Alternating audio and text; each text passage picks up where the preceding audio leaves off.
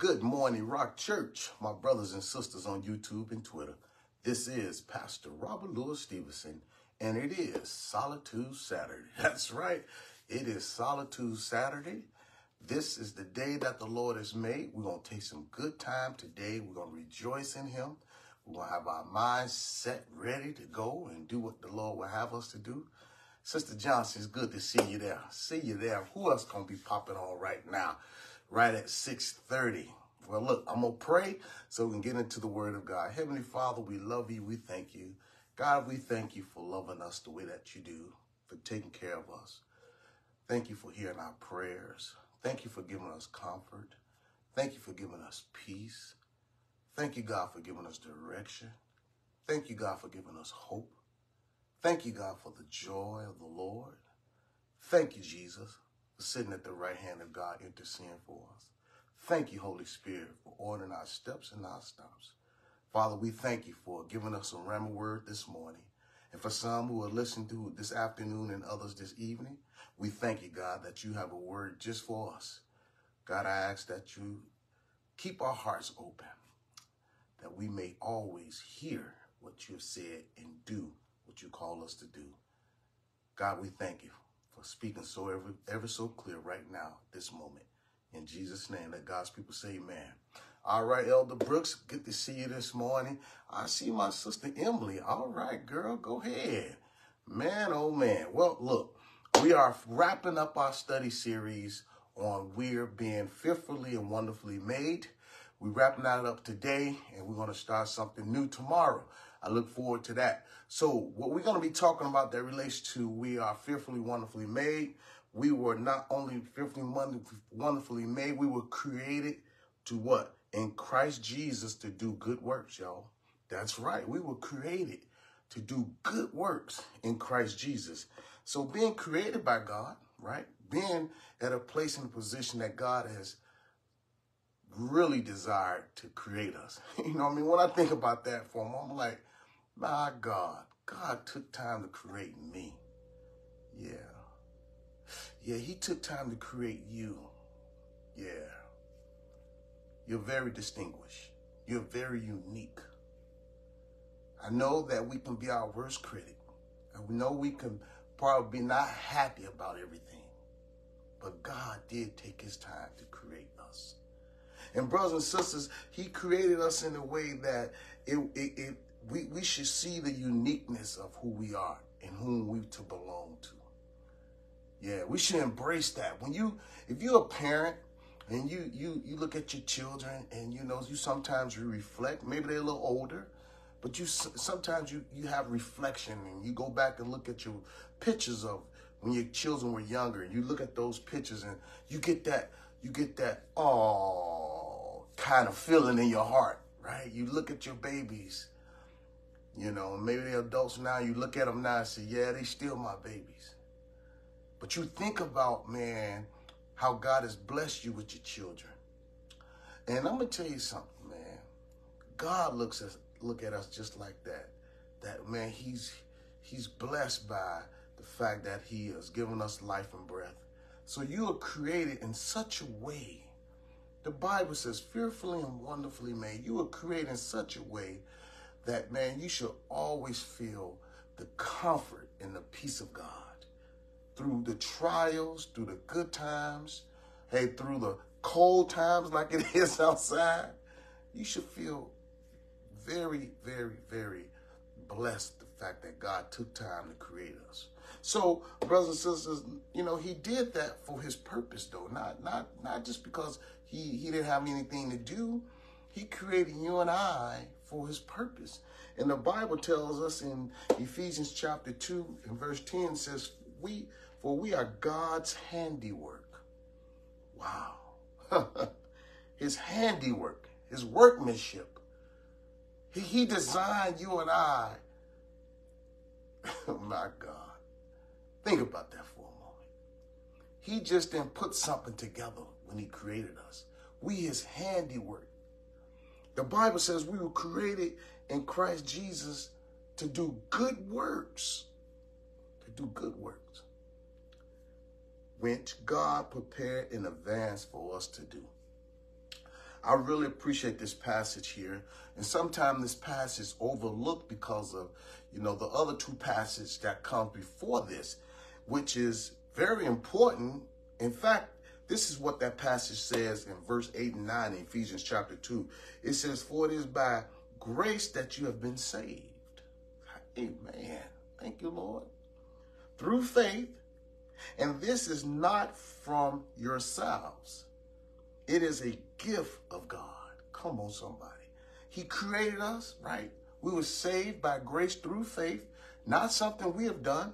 And it's just a gift. In verse 9 says, not by works, so that no one can boast. In other words, eh, you, you can't work for this. We can't work for this. This is this is God designed. We were fearfully, wonderfully made, created. We were created, brothers and sisters. Look at the Bible talking about creating Christ Jesus to do good work. And so Paul wanted the church to understand that. Not only that, it was because of salvation, we can go ahead and do this good work now. Oh, we, we, we, we are in right standing with God, you know, and, and being in right standing because he created us. We, we walked out of being right standing because what Adam did, Adam and Eve done. So in order to get back in right standing with God, we had to come to God. He chose us. We had to accept Jesus Christ as our Lord and Savior. Come on, somebody. Now, hey man, we are in right standing with God because he created us to do good works in Jesus. So what are these good works? What what is it that we are called to do? Because we're not working for salvation. Salvation already has been done through the cross. Now it's like, what are the good works we were created to do. Oh my God. Well, you have to release your faith to Solitude Saturday, and you got to understand that you were created well, in Christ Jesus to do good work. People are looking for purpose, man. What is my purpose? You were created to do good work. Now, hey, God's given us opportunity give us different vocations. God give us opportunity to have different skill sets and all of that. That's real good. That's all good. But you got to take your purpose with your skill set. You got to take your purpose with your job. You got to take your purpose. That good purpose that God has given us, man, is just an avenue and a platform for something to be heard. Now, brothers and sisters, listen, we're going to keep it simple, saints. It's not rocket science. Remember that God prepared what he want us to do long time ago because the Bible said in advance. Yeah, yeah, yeah, yeah, yeah. So, so I'm gonna give you three things that we can take on our jobs. We can take it whatever vocation you have. These three things that are important about these good works. Number one, the good work of the Great Commission. That means evangelism. That's right. Evangelism, spreading of the Christian gospel by public preaching or personal witnesses or witnessing. In other words, this is what I'm doing. I'm evangelizing. You see what I'm doing? I'm doing these devotions every day. I am giving, I'm preaching God's word. I be on the streets. Rock Church, we got this piece we call Moving from Our Seats into the Streets. We out there 27 weeks, man. We did it this year on Wednesdays from 5.30 to 8 o'clock. We out on the streets, man. Every Wednesday night, we out there preaching the gospel, feeding the people. That is evangelism. The other evangelism that he called each and every one of us do to is to share our faith. We can share our faith wherever we go. I don't care what profile job you have. I don't care what vocation you have in life. You to share your personal testimony about God. That is the good works. The second thing I want to leave you with is service in the church. You don't make no difference, man. You don't have to work for the church, but work for a church, but you have to have service. You got to be a part of a congregation. We are the church. We are the body of Christ. And we can participate in different classes, activities. And as you know, we can also pray for those in church.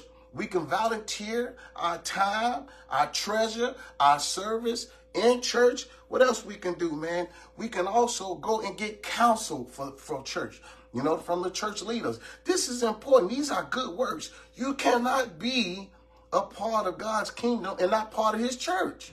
It just, it don't work that way. And the third thing is charity. We need to understand, hey man, we have to have generosity, goodwill. We need to be have kind. We have to have that. We have to be kind-hearted people. These are the good works that we were created to do in Christ Jesus. People are trying to figure out all the other things in life and not not not understand as a Christian, You were created for this. God created us, all mankind, for his good works. Either we know it or not, but those who are listening, you are now held accountable. Too late. You can't put your hands in your ears. I can't hear you, Pastor Rob. Yes, you did. You heard the word of God. These are the good works, brothers and sisters. You are what? Fearfully, wonderfully made. Created in Christ Jesus for good works. Even, I'm telling y'all, man, listen, I kid y'all not. This, this 300 and 65 day daily devotion, man, that God child, he, he called me to, brothers and sisters. Today is 321 days. Man, I am tired. I'm not kidding y'all. Man, the preparation that goes be, behind closed doors, man, my mind, the energy, man, is spent for hours waking up at 3.30, 4 o'clock, getting in, man, praying and meditation, worshiping, then getting into the word and listening and preparing for what's to come. What is it that he wants me to say? These are the good works. Yes, you're going to be tired doing God's work, but I'm telling you, it's fulfilling because other people are growing. Other people are being inspired. This is what God does. And if I wasn't doing this, what I'm going to be doing? But I'm going to tell you this. Watch Watch the fruit that comes out of your life when you are engaged in what God has called us to do. You can't sit on the sideline. Don't sit there. Because if you sit there, you're going to be incomplete. You want to be complete with the good works. Hey, man, share the gospel of Jesus Christ. Get connected with your church and be about person that give charity. I am telling you, these are the good works, man, God prepared in advance for us to do. You ought to say amen. Heavenly Father, we bless your holy name on this Solitude Saturday. We thank you, God, for hitting us with the ideal of what we are called to do, where we're called to be, God.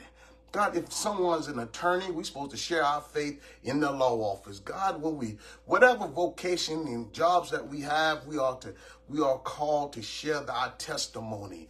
God, we ought to talk to people about who you are and what you've done, even in our lives and what you're looking to do in their lives. God, I pray that we get connected with our church, our local church body, that God, we can connect so that the work that you prepared in advance for us to do, we can be in alignment with that and that we will give the charity, goodwill from our heart, God, and, and serve the church and serve humanity, God. I pray that we can see what this purpose is all about as you have fearfully and wonderfully made us. And God, that we are in Christ Jesus and you prepared this work well in advance. Hallelujah. God, I thank you that you have already prepared our destiny. God, I pray that we walk in that.